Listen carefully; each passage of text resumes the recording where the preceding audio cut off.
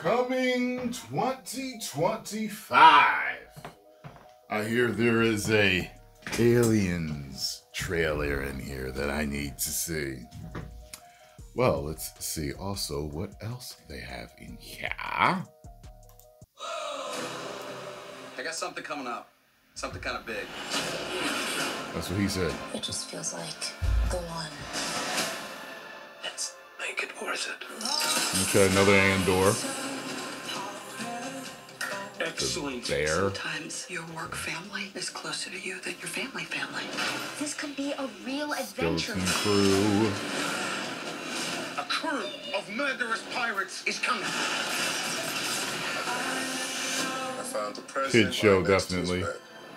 Did you kill him? I have one rule: stay out of the basement. This ship collected specimens from faraway moon.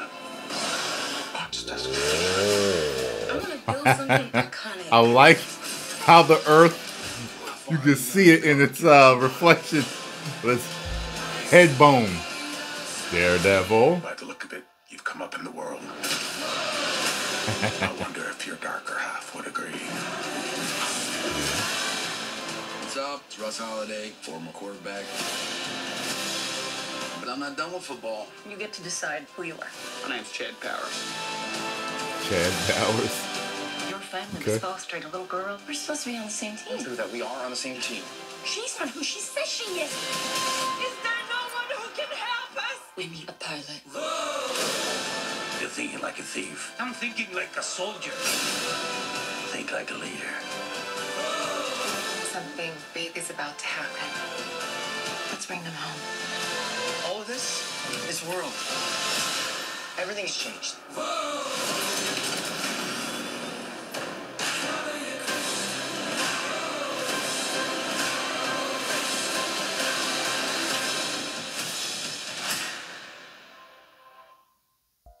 Okay.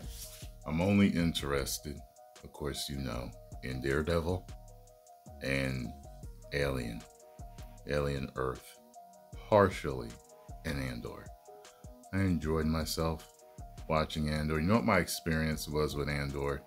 It was like you're watching it and you're like expecting it to be Star Wars. You keep expecting it to be Star Wars, and then you realize this is not Star Wars. This is definitely an offshoot. It's not Star Wars, but it's a good show. It's an interesting show. Finished it. It was interesting. Never watched it again, but I understand why people like it. I always compare it to Loki. It's the Loki of the Star Wars universe. It doesn't really feel like the MCU, but it's was good. So that's how I feel about Andor. Um, but I I don't know. I'm kind of torn about which one I'm most excited about, whether it's Alien or Daredevil, because I don't trust them with Daredevil because of She Hulk and everything else that they've done. But maybe they will do it right. However, Alien Romulus lets us know it's like, okay, you didn't F that up. I mean, it wasn't perfect. We, we know that. They didn't F it up. So, I'm probably the most excited about Alien Earth. Yeah. Post your comments down below. Let me know what you think, though, if you enjoyed my reaction and commentary.